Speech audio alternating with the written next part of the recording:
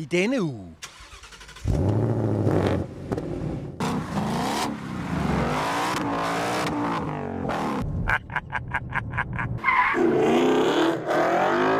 Der er de perfekte biler, bygget med de helt rigtige specs, af de helt rigtige ingeniører, til at slå fuldstændigt ligegyldige rekorder. Sådan en er Mustang ikke. På papiret er der alt galt med Mustang. En kæmpe stor V8, som ligger langt ude foran, højt oppe i karosseriet. Det er helt galt. Undervognen er simpel, og motoren trækker på baghjulene, hvilket bilen sørger for at fortælle dig hele tiden. På en racerbane har en Mustang ikke en chance for at køre for biler med langt flere heste. Men det er også bedøvende ligegyldigt, fordi Ford-ingeniørerne har forstået, hvordan man får hjerterne til at banke. For eksempel har den noget, som Ford kalder line lock.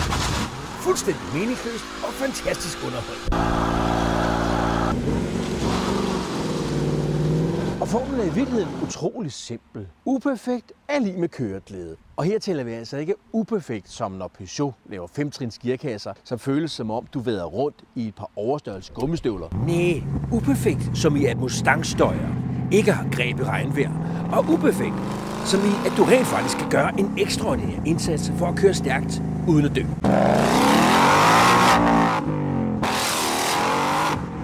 Og nu har Ford skabt den måske mest perfekte, uperfekte Mustang til dato.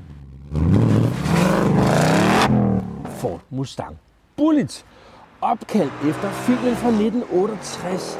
Du ved, den med Steve McQueen, hvor han kørte en GT gennem San Franciscos gader. En helt eminent biljagt. Biljagten er god, fordi den er ret realistisk. Farten passer til gearne, og de to V8'ere lyder vidt forskelligt. Men jeg var dybt fascineret, da jeg så filmen første, anden og tredje og tiende gang. Noget af det, du kan kende den på, er, at den mangler Mustangen, fordi den må ikke være med i filmen, fordi man ikke måtte reklamere. altså, der har aldrig været bedre reklame for Ford end Bullet-filmen.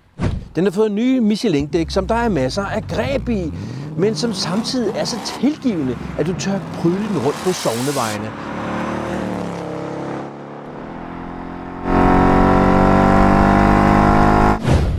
Og styretøjet det er blevet for fint, så du ikke længere har den der oplevelse af at sidde i en sæbekassebil med slap snor. Du får også en manuel gearkasse. Endda med en billiardkugle på.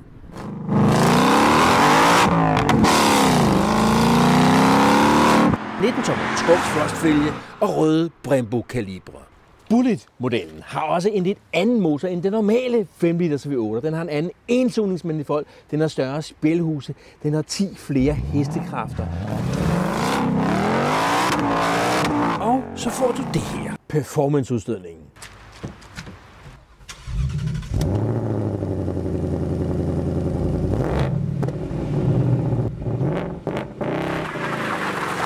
Motoren er selvfølgelig uden turbo og lyder forbløffende meget som den oprindelige Mustang fra filmen.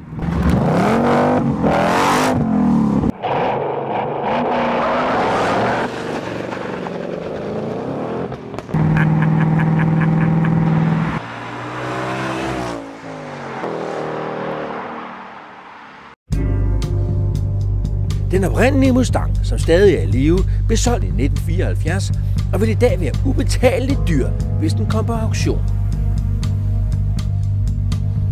Den nye Bullet er heller ikke billig. 800.000. Men prøv du at finde en fabriksny Audi, Mercedes eller BMW til den pris, som kan få dig til at smile eller pisse i bukserne hver dag.